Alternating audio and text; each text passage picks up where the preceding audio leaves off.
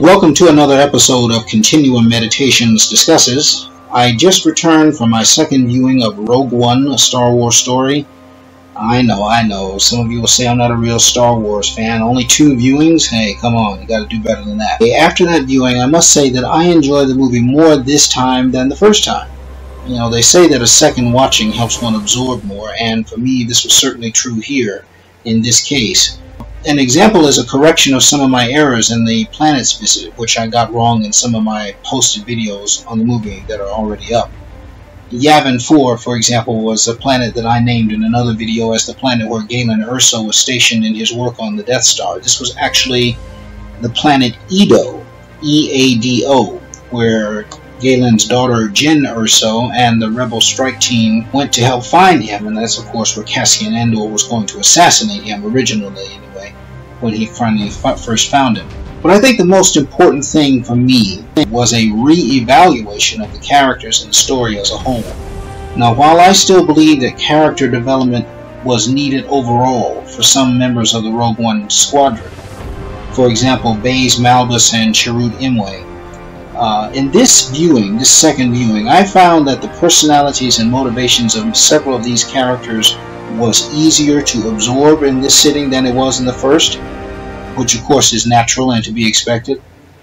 But also, as a consequence of that re-review, I find myself liking the characters more this time than I did the first time, and I found that my ability to bond with them was greater than the first time as well. Uh, this includes a better enjoyment of the character Bodhi Rook, for example, whom I first thought of as a kind of a throwaway character. This time, however, I was able to appreciate more how he fit into the story and uh, to appreciate some of his motivations a lot more than I did the first time. Uh, and I came to see how the struggles that he endured, though they were, of course, less than those of Jyn Erso, Cassian Andor, by comparison, were more to be appreciated. And of course, uh, that helped me to appreciate the loss of his life more when he was blown up by that grenade on Scarif. Of course, uh, we know that Bodhi Rook also was tortured, and being tortured is no small affair at all in and of itself. Now, as I said in previous videos, I am fully aware that this is an ensemble cast, and therefore that full development for each character was not possible nor by me was it expected. But I also stated before in my other videos that I do think certain characters required more development.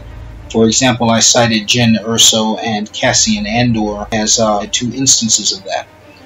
The movie still has issues, certainly. For me, the score is still somewhat mediocre, and the rapid pacing of the first one half hour or so while we're moving from place to place to place is still a little too quick. I think if we'd still taken the time to slow that down a little bit and get a little bit more absorbed into those worlds, we'd be able to appreciate it better. And being able to appreciate the worlds better, we'd be able to appreciate our purpose on those worlds and our characters' involvement in those worlds a lot better. And that would bring the movie more into focus, especially as better character development is done on top of that. I was able to appreciate the character of Chirrut Îmwe even more this time than I did the last time, and as a consequence of him, well, not just a consequence of him, but also appreciate the character of Baze Malbus more than I did uh, last time as well. Um, I found out something interesting on the second helping of the movie. Baze Malbus, did you know, was actually a guardian of the Whills?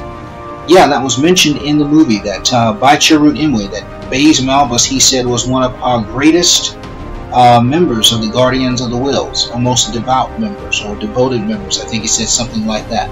But that was interesting. It, it, gave me more insight into some of these characters than I had had the first time. I guess maybe I was able to focus on other things this time. But it made me appreciate the movie more. Now, while I do not think that this movie is a masterpiece, I still think it was good.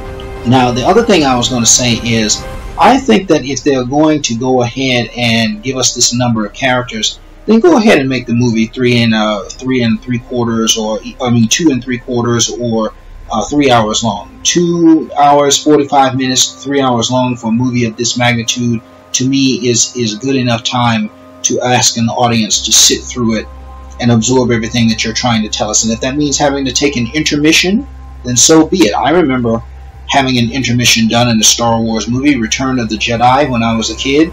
They had an intermission for that movie. Now, it may be the particular theater that you may have to negotiate that with, but I don't think an intermission is a problem, and I don't think two and three quarter hours or three hours for a movie of this length is too much to ask an audience for that for that movie to be developed thoroughly and for the characters to be even more fleshed out than they were. So, on my second viewing, I'll just summarize it by saying it again. I found it to be a better movie even this time than I did the first time. I don't think the movie was great. I don't think the movie was a masterpiece.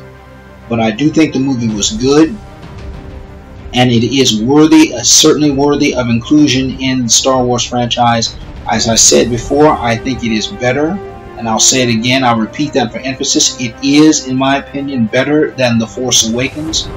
And so I would definitely say I would look forward to seeing this movie come out on DVD in an extended release. And I would look forward to uh, watching it again. Who knows? I may go see it for a third time after this. But I definitely enjoyed watching it a second time and got even more into it this time than I did the first time. So, until next time, Star Wars fans, it's been my re-review of Rogue One, The Star Wars Story. And until next time, may the Force be with you always